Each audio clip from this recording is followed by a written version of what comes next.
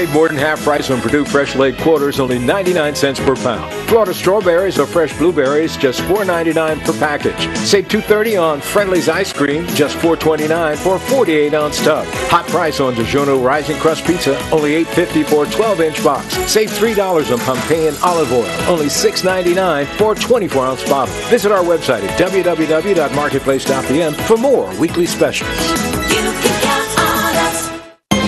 Live from Bermuda Broadcasting, this is ZBM TV9 News. Good evening, everyone. It's Tuesday, February the 13th, 2018. I'm Diane Brewer, and thank you for joining us tonight. The unveiling of the first PLP budget tonight, just two days away, with all eyes on what David Burt, the Premier and Finance Minister, plans to do. One person who will have her eyes locked on the details of the budget is Jeanne Atherton, the opposition leader. Speaking to Mike Sharp today, Mrs. Atherton described the Premier's task as a great balancing act between what Mr. Burt promised the country and what he can actually deliver? I think from my perspective, I look at it and I say that um, he took a, he took a tact, which was to say, let people understand what I'm contemplating. He put a lot of emphasis on the revenue side. He talked about some of the options that he might have to um, consider. He had some consultation so people could give him feedback. Obviously, in between there, we had a few things that happened, like that um, President Trump came up with his, his tax changes. That impacts. But I do think that if people of Bermuda have to contemplate and think that whatever um, consultation feedback that the premier and the finance minister got, he still has to weigh up where does he need to be in terms of getting the revenue to a certain level. Now, I, I have heard, and I say I've heard because even though I've heard it, I can't say categorically this is going to happen. I've heard that in based on his consultation, he might not do some of the things that he said that he would do with respect to the, the payroll taxes and the general services tax. So I've heard that. But until such time as I see that he's produced the budget, I can't say. But what I do think, and, and I've tried to stress, is the fact that we didn't hear a lot about the in initiatives that he might actually put in place because the revenue is up there trying to grow the economy he's talking about growing the economy he's but at the same time if we do not get the expenses under control then we're never going to be able to turn around and bring the debt down the ability of government to take control of expenses will ultimately dictate the feasibility of new government initiatives, says Mrs. Atherton. And I always say to, to people that you, you want new things, but everybody wants new things. But if you're in your own household, you'd say, okay, I'm going to go with these new items. What is it going to cost me? Do I have to give up something else in order to make to, in order to make my my financial expenditure budget work? So I think that that's what I was I was hoping, and we'll obviously see it on Friday because he'll tell us all what new initiatives. But sometimes you should let the people know that if I do this, this is what it's going to cost us, and this is the amount of money I have to find. Or I, you know, there are some initiatives that, that we promised, and they're so important to us that we have we have to give up something else in order to make it happen. In other news, government is still looking at purchasing five new garbage trucks to bolster the current fleet, but there is a question as to the quantity of waste the new trucks should be able to carry. To this end, government, along with relevant stakeholders, will be getting together to carry out some tests, according to David Burch, the Public Works Minister, who was responding to reporters' questions recently. Um, the concern, really, I think, of the President of the Union and ourselves is the amount of waste they can actually carry. Okay. And so, yes, the, the short answer is yes. This is the reason why we are having a team of all of the stakeholders in garbage collection mm-hmm. um, go and see and test and drive and select the next um, batch of garbage trucks that we will purchase. Is there an amount that has been allocated to the purchase of those vehicles? They're about $90,000 a piece, okay. so $450,000. And as for the time frame to have the five new garbage collection staff in place? Um, I have a three-week deadline, and we're on day eight. So yes, I expect that they will be hired within that three-week time frame. Um, there's the the um, the people who have been selected are people who applied to the ministry some time ago. So we're not advertising, even though we've had some new applications that have been submitted um, since my last conference. Um, what we did was to go back into the files and pull out people who had applied some time ago, so their vetting and all of that process is already taken. And what we've been able to do is to eliminate the advertising time. Um, so I expect that. Um, and by the end of by the end of next week is my deadline, next week Friday. But I expect long before then that they will be hired. And everyone, don't forget to socialize with us online. News, news, and even breaking news anytime on our ever growing Twitter and Facebook pages. We have lots of videos, photos, comments, and links to the news you can use 24 7. So be sure to like, click, share, and follow us today. Stay with us. More news in tonight's AccuWeather forecast after the break.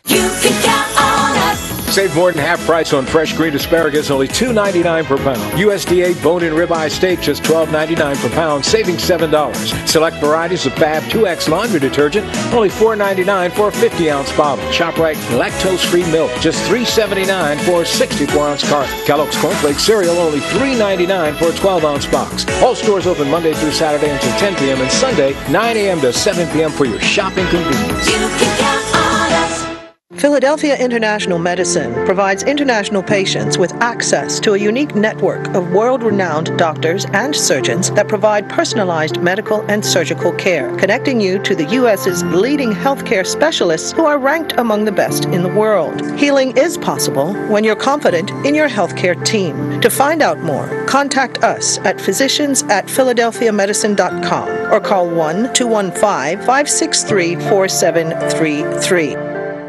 Ever wondered what smart health insurance feels like? Colonial's 24 7 worldwide health insurance does most of the thinking for you.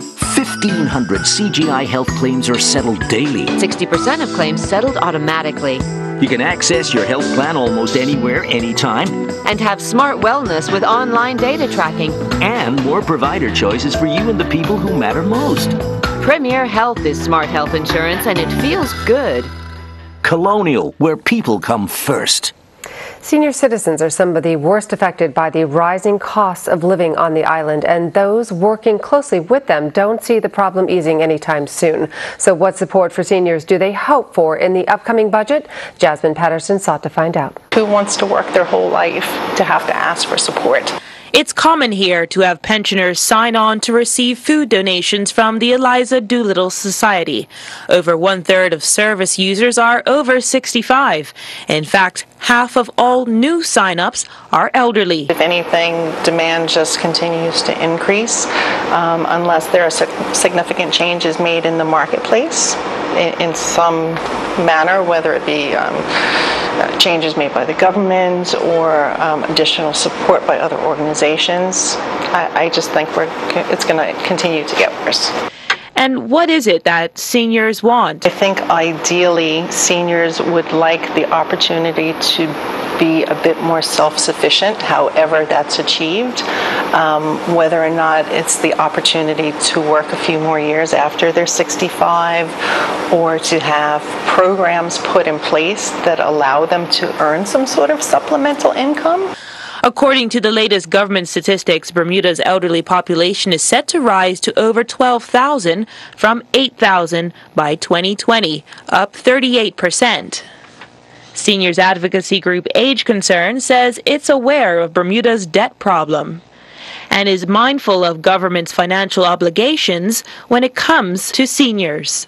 with the cost of living being what it is in Bermuda, seniors generally are looking for support, um, most commonly with their pensions. Um, but then that would extend out to some of the public services and subsidies that are available. Funds allocated to the Ministry of Health and Seniors in last year's budget was slashed by $23 million, or 13%. It's a trend they hope will not continue. We certainly can see that um, community nursing, as an example, is, is, is certainly not what it was many years ago. And perhaps that's where some of the cuts have been made. And what that means is that um, there are seniors that perhaps can be maintained better at home, but without the support services are not being maintained. And that may be contributing to um, the hospital um, situation that we're currently experiencing. Long-term care for seniors, and reversal of age discrimination legislation are main concerns they hope will be addressed on Friday during the budget presentation. Jasmine Patterson reporting for Bermuda Broadcasting News.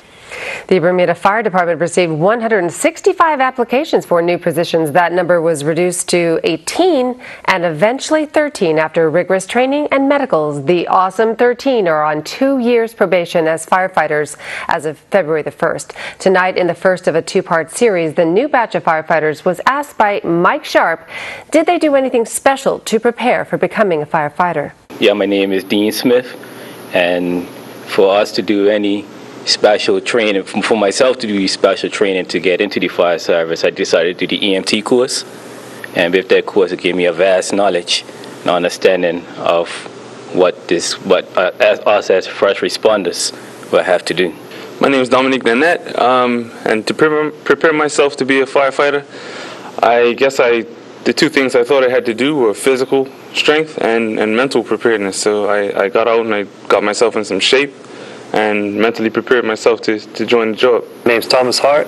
Uh, to prepare for the, being a firefighter, as soon as the process got further in, I started working a lot harder in the gym, get myself physically ready so I can take all the tasks that they give us. My name is Jordan Lamb, and um, the things I did to get ready to be a firefighter is um, every evening I used to turn my oven up to 450 degrees and stick my head right inside. You know, but on a serious note, um, when I found out I was going to be a firefighter, I started to change my diet, started to exercise daily, and just prepare myself mentally for the challenges ahead. My name is Zerai Soon, and uh, to prepare myself for uh, being a recruit, uh, um, just exercising and working out and getting myself mentally stronger. My name is Davin Lambert. I too also mentally and physically prepare myself for the fire service as well. My name is Isaiah Casey. To prepare myself to be a firefighter, I actually started three years ago, not knowing that this was going to be the new life for myself, and I'm just I'm just ready to to take this journey one step at a time. My name is Diane Simmons, and um, the steps I took to prepare to become a firefighter are to obviously um, physically stronger, to be physically stronger and mentally stronger as well. Um, I definitely had an interest in help, helping people as you know my lifestyle um, showed that. Now, my name is Shahid Amrani. Uh, the way as I prepared to become a firefighter, I basically I knew fitness was a major key, so I signed up to Beach to Beach Gym on Union Street, which prepared me fitness-wise um, better eating habits. And through these stages of recruit, we had uh, different exams. So when I knew I had an exam coming, I tried to prepare myself best for that exam. New information was was, was brought forth, so I just prepared myself as best as possible. So it gave me a better opportunity to be successful, which I was. So it all paid off. Congratulations to the awesome 13. Turning to weather news, mostly cloudy with a few showers for our Wednesday. Here's the latest from AccuWeather headquarters. AccuWeather is presented by BF&M Insurance Group. We now go to AccuWeather headquarters. The BF&M Insurance Group is pleased to bring you this AccuWeather forecast here on ZBM. We're glad that you are with us as well. And we have some showers invading uh, tonight and especially into the day tomorrow. This is all tied to a front. You can see there's a big uh, stripe of activity approaching us. A lot of the tallest clouds and most numerous showers are to the north. Some are also knocking on our door to the west. So here's a, an estimate of where the showers are based on satellite. And you can see there is a, a, significant increase in showers north and west of us, and they're generally moving to the east. So some of these will clip on through the area. Humidity is fairly high. Temperatures are right around 70 degrees. We have uh, virtually calm winds, under 3 and 4 knots, and the winds are changing direction almost at random with such weak forcing and light winds, at least for now. The winds are going to ramp up though at the end of the week. Water temp, 69 degrees on the the inside, we have waves pretty flat, only around a foot. On the outside, we have four to five footers rolling around out there. And tonight, we do expect to see a couple of showers sneak in. It doesn't look like a long lasting rain event, though, just some scattered showers. And there will be a few more passing showers in the forecast for tomorrow. Temperatures peak around 70 degrees, so there won't be a big rise, only about a 5 degree difference from our lows to our highs. As we look at the uh, tide chart here, we have high tide at 7.08 tonight Low tide just after midnight, around 1:20 a.m. High tide again for the early risers tomorrow morning, 7:32, and a low tide in the early afternoon on Wednesday at 2:02 p.m. So the gateway forecast is uh, fairly active, and here are the numbers for uh, the Caribbean. But as we look at the east coast of the U.S. and North America, Toronto 39 degrees, partly cloudy. New York a little milder out there tomorrow. Boston approaching 50.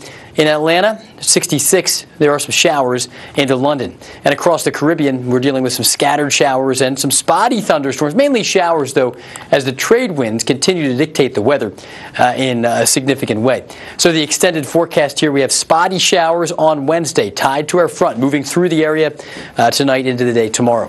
Thursday, pretty decent weather. 70 degrees, we'll go mostly cloudy. Now, the wind is going to pick up on Friday, and there will also be a few showers in the area, so look out for them.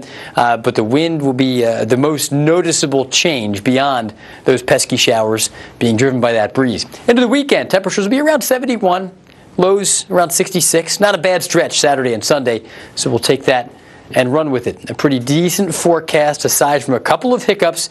Once those winds pick up on Friday, though, keep an eye on the swimmers. Anybody out there on the kayak, there will be some rip currents and some larger waves as the wave heights certainly do increase into the end of the week. So enjoy the ride out there, stay dry, and don't forget the umbrella when you're out and about tomorrow. AccuWeather was presented by BF&M Insurance Group.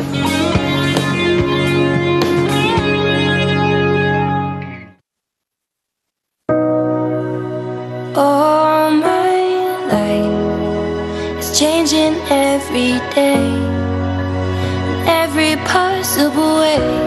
Then I open up and see the person falling here is me. dream to me. Made with care, handled with care, delivered with care. That's what dreams are made of.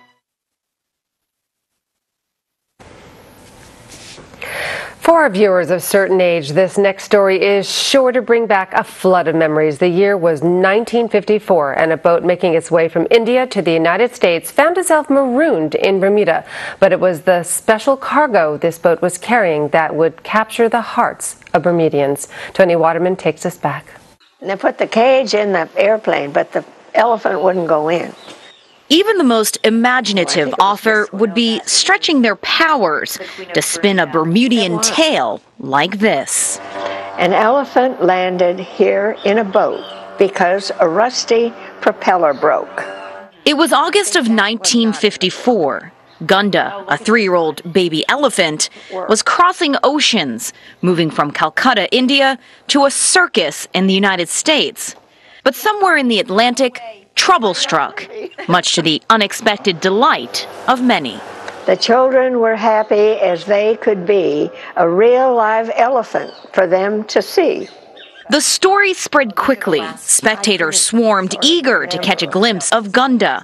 Nancy Valentine, who later wrote a children's book about the elephant, was there with her two young children. Nobody had ever seen an elephant, and, and I mean, so many of the children, mm-hmm. because nobody could travel Right. at that time. It was front page news for days. But soon, a plan was hatched. Gunda would continue her journey, this time aboard Pan American Airways. She was hoisted off the boat, suspended in a sling, then gingerly lowered into a waiting truck. Operation Elephant was declared a success. But when we got it to the airport, it wouldn't get on the plane, and the Pan American pilot didn't want to take it. so, you know, finally, the pilot said they, they had to go. They couldn't wait. So then, that's how it wound up at Stephen's house. And this is where we had the truck back then to here. Stephen West was 11 when his grandfather offered to host Gunda at Shelley Hall Farm in Hamilton Parish. Was it wide enough that she could fit through pretty easily, or She was it? brushed it. she, she was pretty fat. The farm is long gone, but the memory is fresh. Like most island kids, Stephen had never seen an elephant before. And she was tied up over in this general area? She was tied up uh, just beyond that building corner. Uh, on her back leg, and she had a stake, and she had a long enough rope she could come down into this area. Stephen had unfettered access. He cleaned up after her, took her on walks, and found the way to her heart. She ate two bunches of green bananas a day and a bale of hay. And when you ran out of food, she let you know. And at one time, she came over to me and I didn't have anything. She just lifted me with her trunk and put me right over a wall at, at uh, which was my grandmother's um, rose garden. Gunda stayed at Shelley Hall Farm for a week. Then, on August 25th, 1954, her final farewell. Cars lined both sides of Front Street. Hundreds gathered, their heads turned skywards, gazing at what was truly a spectacular sight. Gunda hoisted up in a sling, her trunk securely in her mouth, headed for the top deck of the Queen of Bermuda. On the Queen of Bermuda, she sailed in style, waving fond farewell to the summer's isles. Gunda eventually settled in the Tulsa, Oklahoma Zoo. She died just last month, aged 67. I never saw her again, but you remembered her. In fact, I've remembered her uh, all, all through the years. They say an elephant never forgets. Neither does a Bermudian who's had an unexpected encounter with an unforgettable baby elephant. Tony Waterman for Bermuda Broadcasting News. Turning to sports, a Bermudian female footballer announced where she will attend college. The Bermuda men's national football team is to play in the Caribbean, and Bermuda youngsters help their high school win the state indoor championships. Earl Basden has all the details and much more in tonight's sports report. Bermuda national women's team footballer Tia Lindo has announced the school of choice. Today I'm here to let Bermuda know that I have committed to Flagler College, located in St. Augustine, Florida. Um, I went away in October to visit various schools, but Flagler was the one of the two schools that replied back. When I got there, um, when I went on a tour, I mean, the coach took me on a tour, showed me the school, and then later on I trained with the team, and then I found out that I was offered a full scholarship. When I got back to, the first thing I did was text my mama, and she was excited, and then I told Jenkins. And so when I got, I knew that's where I wanted to go because of the atmosphere was nice, and I fit in with the girls. They were nice um, individuals. Tonight's sports is brought to you by the all new Boundary at Fairmont Southampton, the West End's only sports bar. Catch all the action and enjoy smoked perfection barbecue, beer, and other pub favorites. It's game on at Boundary. Nathan Trott and his West Ham United under 23 teammates played to a 2-2 draw against Tottenham Hotspurs in their Premier League 2 London derby last evening. The Bermuda Football Association announced that the Bermuda senior men's national team will play two international friendly matches in March. Bermuda will continue their preparation for the CONCACAF Nations League, which will kick off during the fourth quarter of 2018. The team will travel south to the Caribbean to play Antigua and Barbuda's national team on March 21st, and then they will take a relatively short trip to Barbados to resume their rivalry when they take on Barbados' senior men's national team on March 25th. Zakiah Lewis, Sejan Harvey, Mateo Dill, and Malik Jewell all represented St. Johnsbury Academy, helping them to win the Vermont Division One State Indoor Championships. Lewis competed in the women's varsity long jump, finishing second with a top leap of 4.87 meters. Lewis would then finish sixth during the women's varsity 55 meter dash, stopping the clock in a time of 7.75. Lewis would lead off the victorious St. Johnsbury women's varsity 4x200 meter relay team that clocked a time of 1.53.03. Dill clocked 38.85 on his way to finishing sixth while competing in the men's 300 meters, while Joe finished second competing in the men's varsity 600 meter race with a time of 1.30.77. Harvey finished second in the men's 1,000 meters, stopping the clock at a time of 2.47.32, while in the men's varsity 4x400 meter relay, Harvey and Joe helped St. Johnsbury finish third, clocking a time of 3.45.93. Harvey and Joe were also members of the St. St. Johnsbury men's varsity 4x800 meter relay team that clocked a winning time of 8.53.35. Dill finished fifth, competing in the men's long jump with a top leap of 5.48 meters. Dill would then finish second in the men's triple jump with a top leap of 12.49 meters. Jair Mitchell competed in the AMSOIL Arena Cross Motocross event in Madison, Wisconsin. In the AX Lights East Regional class, Mitchell finished fourth. He finished 11th in the qualifier and then sixth in the heat. Mitchell is in 10th in the standings with 20 points. During the Madison Arena 250 AX class, Mitchell did not advance to the final this after he finished 20th in the qualifying heat and 8th in the first round heat. 21 goals were scored in a triple header at the National Sports Center as the Bermuda field hockey season resumed. The Budgies picked up their second win of the weekend, having won their match on Friday evening, this time defeating the Canaries 2 1. Cassia White gave the Budgies the lead in the 13th minute with a field goal. Jasmine Patterson would double the lead with a field goal in the 57th minute. Terrian Mallet would pull a goal back for the Canaries with a field goal in the 60th minute, but they ran out of time looking for the equalizer. In other matches, it was the Sandpipers nil, Pink Robin 6, Mix B team 11 Ravens 1. Jillian Teixeira and Tyler Loops began competing in the Future Stars International Horse Jumping event in Belgium. On day one, the pair only competed in one class, which was the 1.25 meter table A against the clock class. Teixeira riding Aluna would finish second with a clear round time of 58.90. Teixeira and Amarula finished sixth, clocking a clear round time of 60.05, and Loops riding Escalada finished 85th with a time of 64.85, but they would have 12 penalty fault points. Some 50 riders took up the challenge of Pedal for Paralympics, riding from Royal Naval Dockyard, Clock Tower, and finishing at Ferry Reach. Riders had the pleasure of being joined at the start line by Bermuda Paralympians Jessica Lewis and Yuche de Silva Andrade. Lewis and her new coach, Curtis Tom, would then join riders as they traveled along Kindley Field. Tonight's sports has been brought to you by the all new Boundary at Fairmont Southampton, the West End's only sports bar. Catch all the action and enjoy smoked to perfection barbecue, beer, and other pub favorites. It's game on at Boundary. I'm Earl Basden with Bermuda Broadcasting Sports. The Marketplace Food Court is you and your family's one stop shop. Start your day at the breakfast bar with omelets made to order and traditional Bermuda codfish breakfast. The chefs will cook lunch and dinner to your liking. Along with the salad bar, sandwich bar, sushi bar, and fruit bar, the Marketplace Food Court is your kitchen away from home. Every day is hassle free with nutritious meals from the Marketplace Food Court. Visit us seven days a week. Homemade cooking, quality service, all at prices you can count on.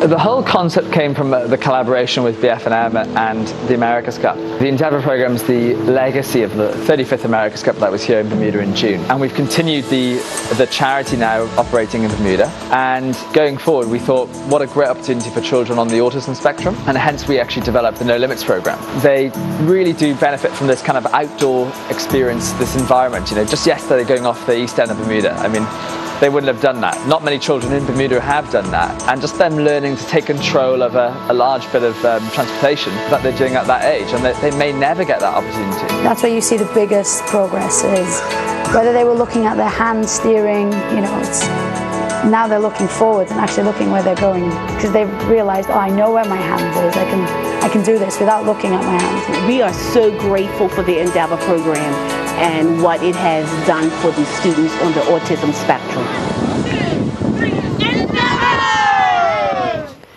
The search is on for applicants to fill the role of regulators of key business sectors that are to fall under the purview of the Regulatory Authority of Bermuda. Those seeking to be members of the Board of Commissioners to whom the RA will report are expected to have their applications submitted by Friday, February 23rd to the Permanent Secretary of the Ministry of Transport and Regulatory Affairs. The Board of Commissioners is currently responsible for regulating the energy sector and electronic communications sector apart from broadcasting. The principal functions and general powers of the RA include establishing technical industry standards, regulating tariffs by the providers, and establishing and enforcing service quality standards in the energy sector. For more information, log on to gov.bm and navigate to the Transport and Regulatory Affairs page. And before we leave you tonight, the Bermuda Broadcasting Company will be conducting maintenance starting at 1 a.m. Wednesday morning on both our ZBM TV 9 and ZFB TV 7 stations. More importantly, tomorrow, Wednesday, February 14th, is Valentine's Day, so please don't forget to look after your Valentines. That's our newscast for tonight. I'm Diane Brewer. Thanks for joining us. Have a wonderful evening. Good night.